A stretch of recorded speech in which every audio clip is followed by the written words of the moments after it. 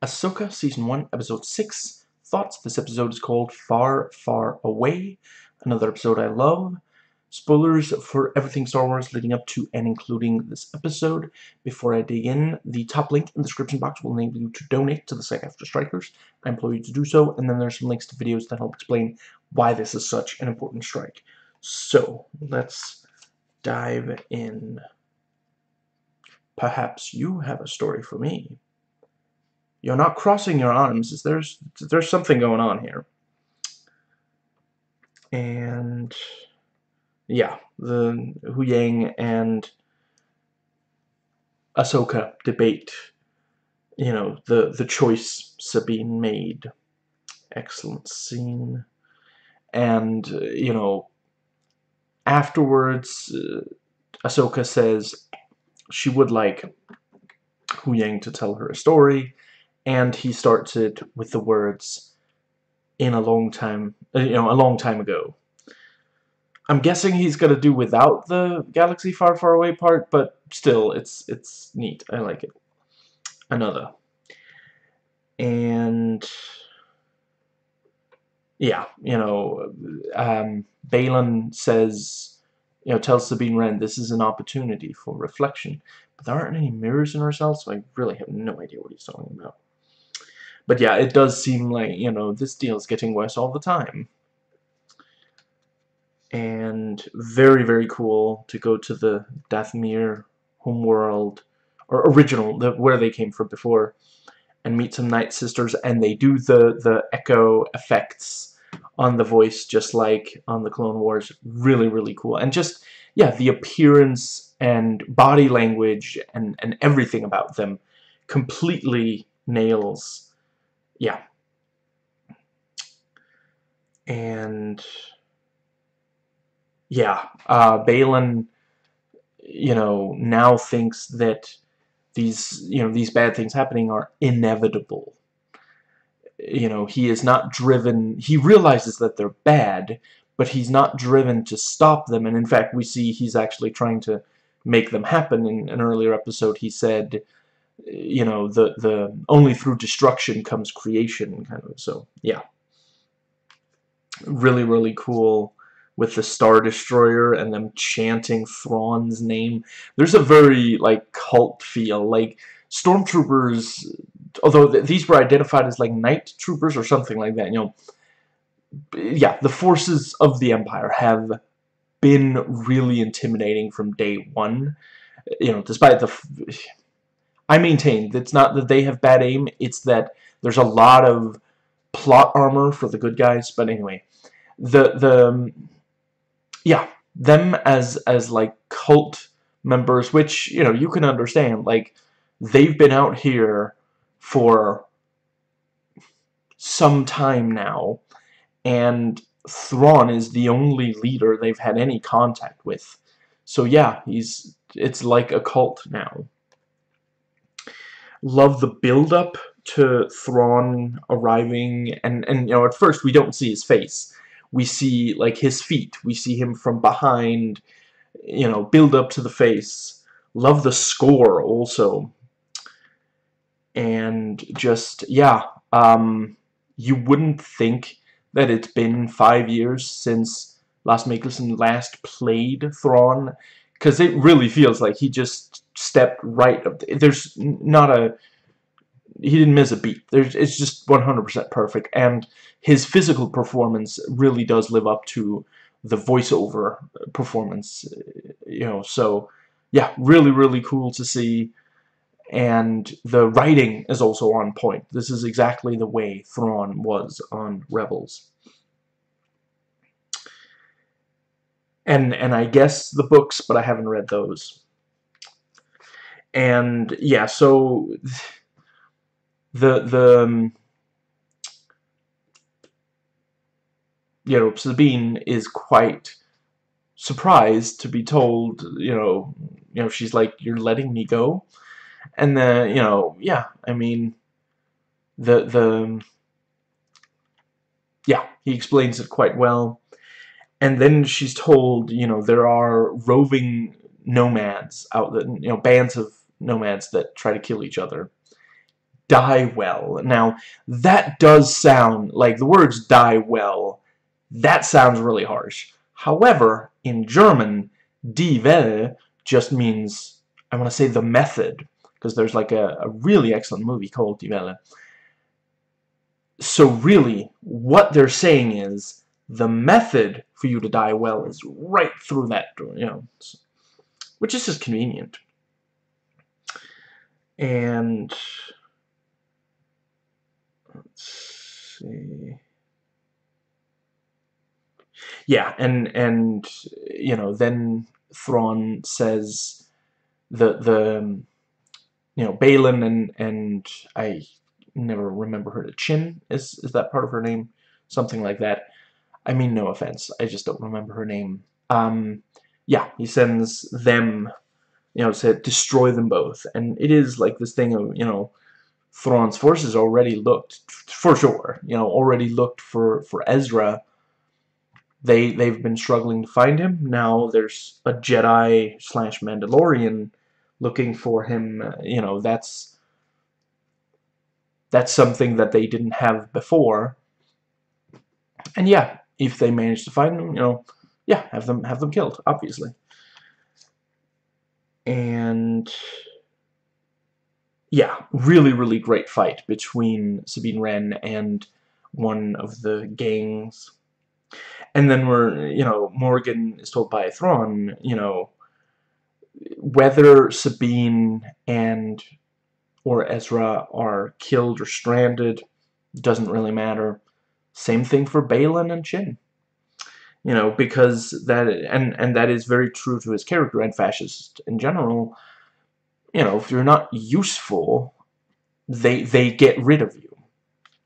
The you know the fact that they couldn't have like Thrawn's victory is partially assured by the actions of Baylan and Chin, and he doesn't care because he doesn't need them anymore. There's no sympathy or empathy or or anything, you know. The if they hadn't freed Morgan, if Morgan had remained a prisoner of the New Republic, you know, that's it. There's no yeah, Thrawn never gets rescued and you know, like even there's a there's a lot of evil people who'd at least say, well, you know, make sure to reward them. Give them so and so much gold that they'll, you know, that they'll have for the rest of their lives or something, you know, but yeah, fascists completely just cruel, sadistic, merciless. And I really appreciate media like this helping to fight them because they are one of the biggest threats today. And the okay, so apparently the creature is called a howler according to the subtitles, you know, it it returns, and Sabine is like, "You you ran out on me. No, go away. You know, I don't want you." And and like it lowers its head and and leaves, and she walks out of the shot, and like a couple of seconds, and then it walks back into the shot and follows her. Just really adorable, you know. And she does eventually, you know, she says, "Okay, you can have another chance." and we get a happy tail wag and the the so the the subtitles identify them as Noti speaking Noti if if I'm pronounced I guess I guess it could be Notai. You know it's not like they're going to a wedding. I don't see why they would be wearing a tie. But yeah um you know the I I don't it's been a long time since I spoke Notai. So I'm going to I, I you know I'll I'll give a rough translation. You know when when he you know at first he's just like hiding, but then he starts speaking to Sabine, and what he's saying roughly translates into, "Hello, I'll be your adorable merchandising opportunity for this episode."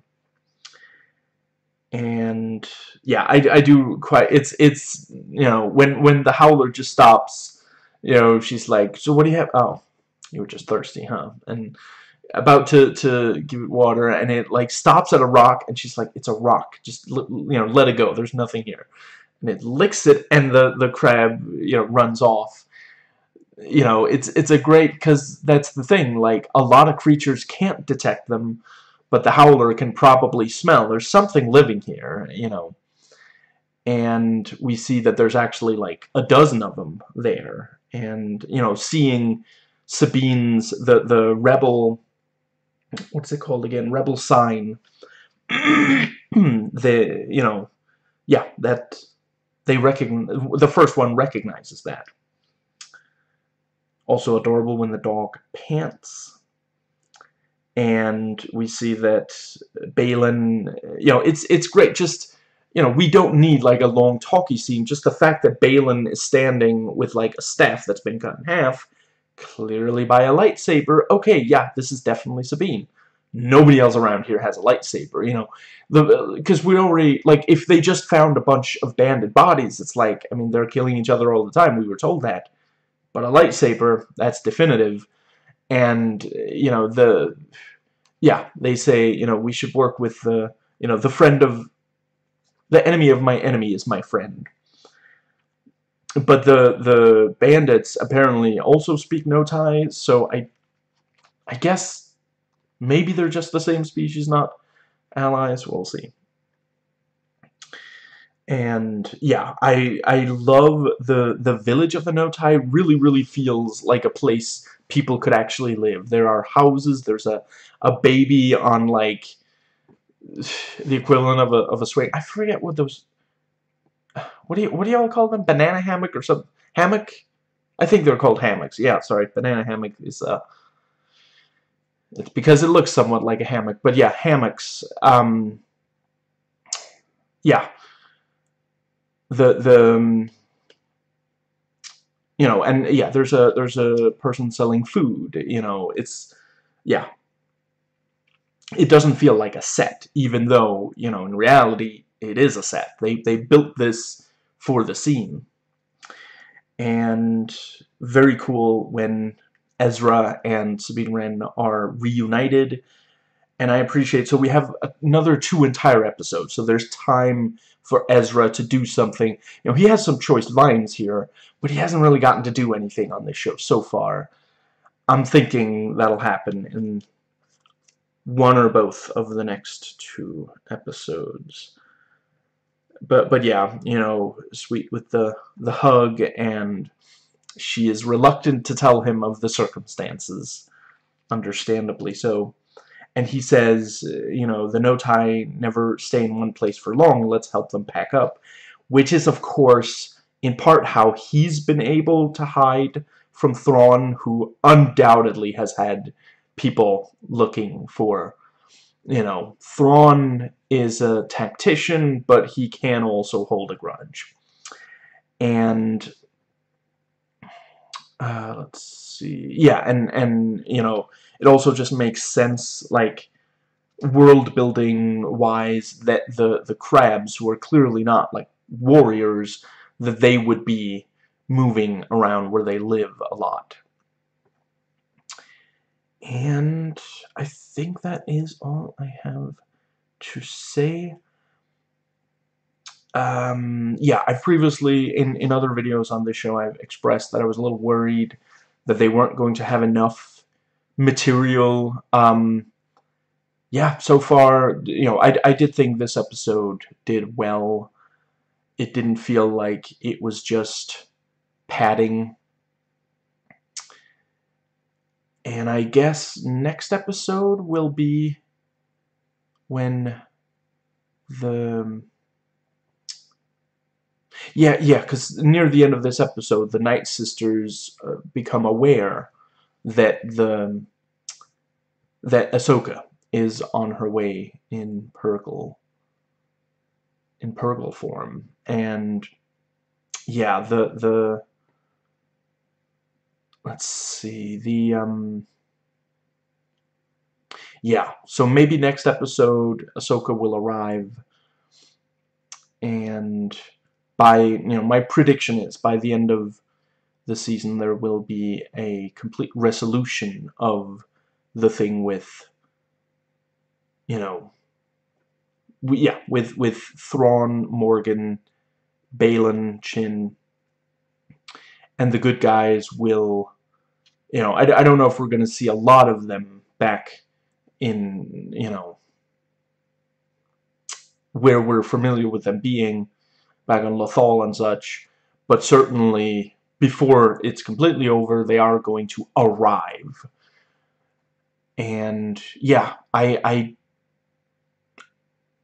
I am optimistic about the last two episodes. I think they'll be able to keep things moving and have a you know strong resolution. Like I if this had been the second to last episode, I might have been like, okay, the finale is gonna be overstuffed, I fear, but um I might be I, yeah, a little bit more about Thrawn. You know, I appreciate. You know, he knows the people. He's he's you know, he his big thing is understanding the the the variables. He's you know he knows who Baylan is, and you know when he learn you know he doesn't say it to Baylan's face because that wouldn't be tactical, but afterwards he's like he's a Jedi, he's flawed, you know. So it, it, and that's why he discards him because like I can't use a Jedi, I can't you know, and and that's